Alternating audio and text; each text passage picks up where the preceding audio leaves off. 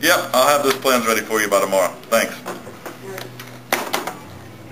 When it's my moment in the sun. Hello? How beautiful. Hello, Mr. Pollock. Yes. I just got a call from your old school Butler Heights. They would like you to give a speech to their students on how you became so successful in life. Oh, yeah, that'd be great. I think we'll be able to do it. Uh, when can we uh, get that ready? Uh, looks like the 24th? Yeah, the 24th will be, that'll be great. All right, thank you. Thank you.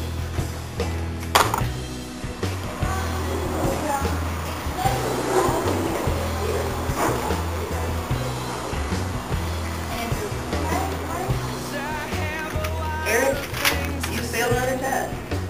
Really? I could have sworn I knew this. And the only way that you can possibly pass now is if you come to tutoring every single Tuesday. I will cross that. Sweetheart, if you're failing math, you're not going to be in a lacrosse game anyway. Bringing No, you have to pass your classes today.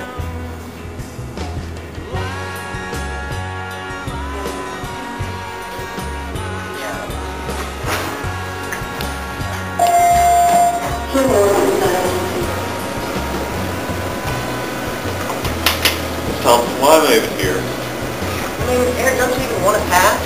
Well, yeah, because then I can play lacrosse. So, But what do you want to do in the future? I'll play lacrosse.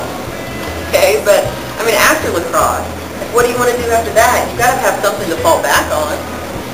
Certainly don't want to do math.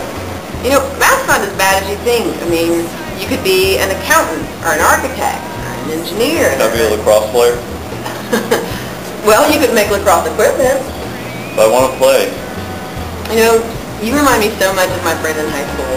He was brilliant, he had so much potential, but he just never applied himself. What does he do now? He flips burgers at McFlippers. Really?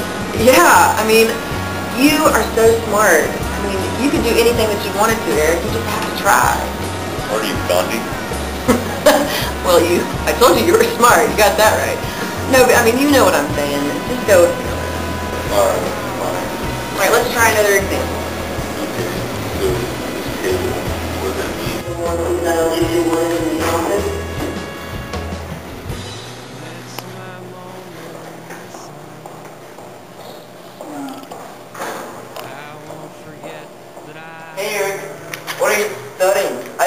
Isaac Newton Precious Victory? No, of course not. I have physics test in o'clock, and I need to study for it. I need that A. Dude, what happened? It's so cool. And they're like reading up lines and studying and stuff. Kind of loser does that? Loser that object has in motion to stay in motion until it's stopped by an opposing force. Such a nerd now. Come on, let's go outside. No, I study. Just go without me.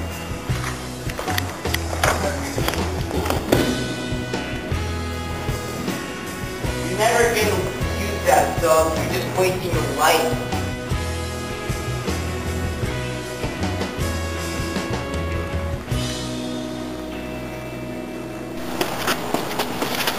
Hey Eric, you wanna go to the movie night?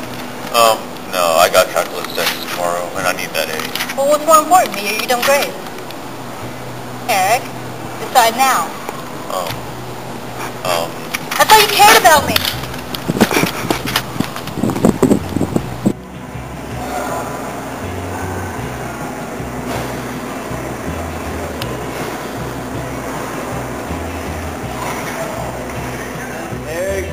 Has won the 5000 ASCO Numatics Industrial Automation Engineering Scholarship.